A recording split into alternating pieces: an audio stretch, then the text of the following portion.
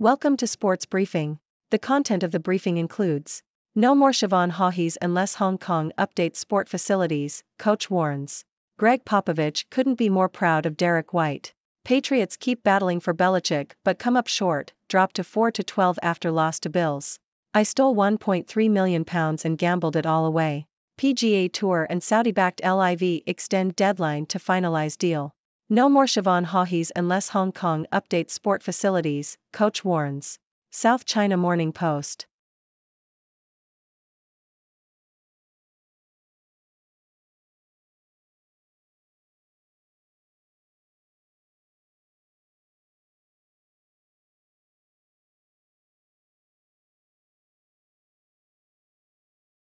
Gregg Popovich couldn't be more proud of Derrick White. Yahoo! San Antonio Spurs head coach Gregg Popovich praised his former player Derrick White, who now plays for the Boston Celtics, calling him one of the greatest guys ever and explaining how he helped him become a more confident player.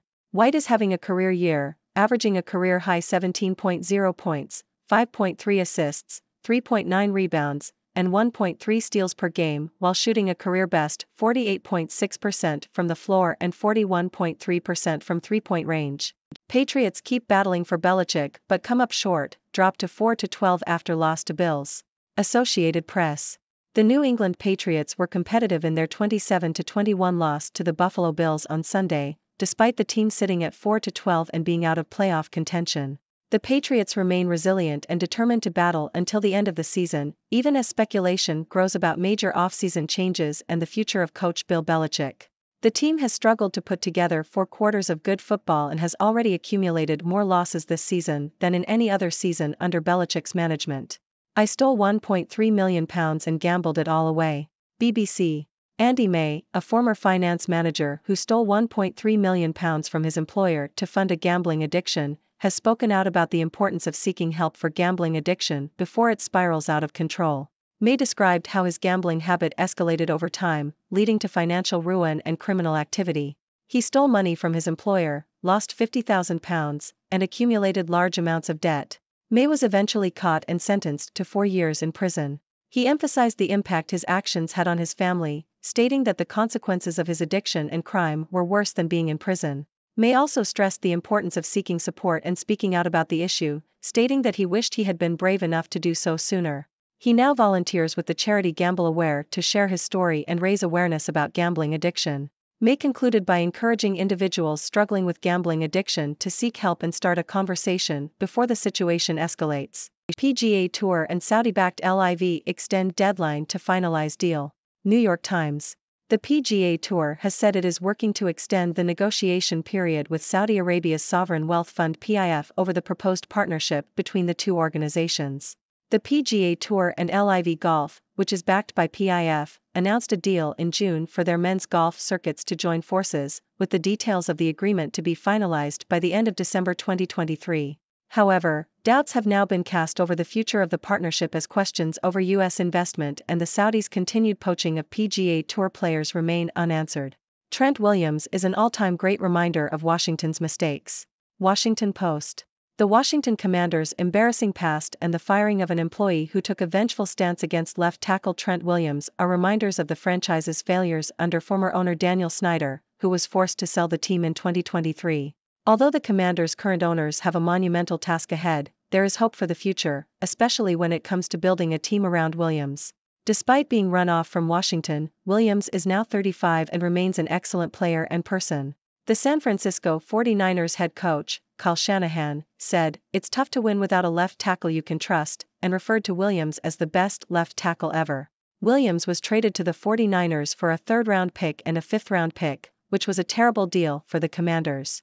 After enduring so much in his 10 seasons with Washington, Williams said he is now having a blast with his new team. David Warner announces retirement from one day international cricket. ABC. Australian cricketer David Warner has announced his retirement from one day international ODI cricket. The 37 year old, who will play his final test match against Pakistan this week, said he felt the time was right to conclude his ODI career following Australia's World Cup victory in India last year. Warner's 6,932 runs in 161 ODI matches is the sixth most by any Australian, and his average of 45.30 is among the best in the nation's history. He has not ruled out a comeback if Australia needs an opener for the ICC Champions Trophy in 2025. Panthers owner David Tepper tosses drink into visiting stands late in 26-0 loss to Jaguars. Associated Press. Carolina Panthers owner, David Tepper, threw the contents of a drink into the crowd during a 26-0 loss to Jacksonville on Sunday, which saw the Panthers fall to 2-14. It was unclear if Tepper was responding to something directed at him or to the team's performance. The Panthers finished the season with a 0-9 away record and clinched the number 1 overall pick in the NFL draft in April. Philly homecoming is sweet for Cardinals coach Jonathan Gannon. Associated Press. An article published by the Associated Press on January 9, 2022, reports on a game between the Philadelphia Eagles and the Arizona Cardinals. The Cardinals, led by former Eagles defensive coordinator Jonathan Gannon, rallied to win the game 35 31. This victory came despite the fact that the Cardinals had little to play for, while the Eagles were fighting for a playoff spot. Gannon's defense played a large role in the win, shutting down Jalen Hurts and the Eagles' offense in the second half. David Tepper's apparent drink tantrum says a whole lot about his Panthers' tenure in one inexcusable gesture. Yahoo! The Carolina Panthers have had a terrible, terrible season from hell, and it only hit a new low on Sunday scoring 0 points in a 26-0 loss to the Jacksonville Jaguars who were starting backup quarterback CJ Beathard as Bryce Young's brutal rookie season comes to a near close wasn't even the worst part of the day. Chargers 16-9 road loss to the Denver Broncos by the numbers. Yahoo! The Chargers' Austin Ekeler, 30, who had 46 yards rushing against the Broncos, runs near the Broncos sideline. Breaking down the notable numbers behind the Chargers' 16-9 road loss to the Denver Broncos on Sunday. With Chiefs locked into AFC number 3 seed, Patrick Mahomes unsure if he'll play next week. Yahoo! Kansas City Chiefs quarterback Patrick Mahomes is willing to do whatever head coach Andy Reid wants regarding playing in the team's final regular season game.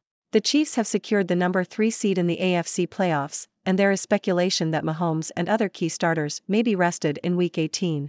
Mahomes said he didn't even realize the Chiefs were the number 3 seed but is ready to play if Reid wants him to or rest up for the playoffs. An injury to Mahomes would be devastating for the Chiefs, so it's unlikely they will risk him in a meaningless game. Wolverines, Spartans help US rout Slovakia 10-2 in World Junior Hockey Group finale. Associated Press. The United States defeated Slovakia 10-2 in the World Junior Hockey Championship, with Michigan forward Rutger McGroarty scoring a hat trick. The US finished Group B play undefeated and will face Latvia in the quarterfinals. In other games, the Czech Republic beat Switzerland 4-2, Finland beat Sweden 5-4 in a shootout, and Canada defeated Germany 6-3. Sweden, Canada, Finland, and the Czech Republic advanced to the quarterfinals. Stidham uneven in first start in place of Wilson as Broncos rely on defense to beat Chargers 16-9. The Toronto Star. Jarrett Stidham threw for 224 yards and a touchdown in his first start as the Denver Broncos beat the Los Angeles Chargers 16-9. The Broncos forced one turnover and allowed two third down conversions on 11 attempts. Despite the win, the Broncos saw their playoff chances end with Kansas City beating Cincinnati. Harrison Butker hit six field goals, kicks Chiefs to AFC West title with 25-17 win over Bengals. Associated Press. The Kansas City Chiefs clinched the AFC West title with a 25-17 win over the Cincinnati Bengals on Sunday, securing a home playoff game in the process. Chiefs kicker Harrison Butker made six field goals from 54, 43, 27, 24, 48 and 46 yards to guide Kansas City to victory. The Bengals led by 10 points early in the game but couldn't hold on, with Chiefs QB Patrick Mahomes throwing for 245 yards and a touchdown to secure the win. And that's a wrap on today's news. We covered a variety of topics, from the need for improved sports facilities in Hong Kong to the retirement of Australian cricketer David Warner. We also discussed the struggles of the New England Patriots and the Carolina Panthers in the NFL, as well as the success of the Arizona Cardinals and Kansas City Chiefs. And let's not forget about the exciting World Junior Hockey Championship. Now, let's dive into some analysis. The call for improved sports facilities in Hong Kong is crucial for the development of young athletes and their access to international opportunities. It's clear that the government needs to prioritize this issue and provide the necessary resources. As for Derrick White, it's great to see him thriving in the NBA and receiving praise from his former coach. The Patriots and Panthers may be having a tough season, but their resilience and determination are commendable. And kudos to Andy May for speaking out about his gambling addiction and raising awareness of the need for support. In the world of golf, the partnership between the PGA Tour and LIV Golf is facing uncertainties. It remains to be seen how the negotiations between the two organizations will play out. Meanwhile, Trent Williams continues to shine in the NFL, and his departure from the Washington Commanders highlights the franchise's past mistakes. And congratulations to David Warner on an impressive ODI career. Lastly, we witnessed some intense moments in the world of sports. From the drink throwing incident involving the Carolina Panthers owner to the Kansas City Chiefs clinching the AFC West title, there was no shortage of excitement. Now it's your turn, viewers. What are your thoughts on these news stories? Do you have any questions or opinions to share? Let's continue the discussion. Thank you for tuning in. The content above showcases the latest briefing reports and analytical synopses, thoughtfully curated by the 6Do team. These insights stem from a wide array of reputable media outlets, think tanks, government sources, and specialized experts worldwide. We encourage you to explore these sources for a comprehensive perspective. Keep in mind that while the content may not always align with the official standpoint of 6Do Brief, it's not meant to be taken as absolute directives for decision making. Comprising seasoned media professionals, learned scholars, and accomplished scientists, the 6Do team embodies a trailblazing, fully independent media entity. To customize 6Do Brief to meet your professional needs, you have the option to subscribe to a diverse array of briefings on our website, 6dobrief.com. Regardless of your location, you can conveniently receive 6Do Brief via email.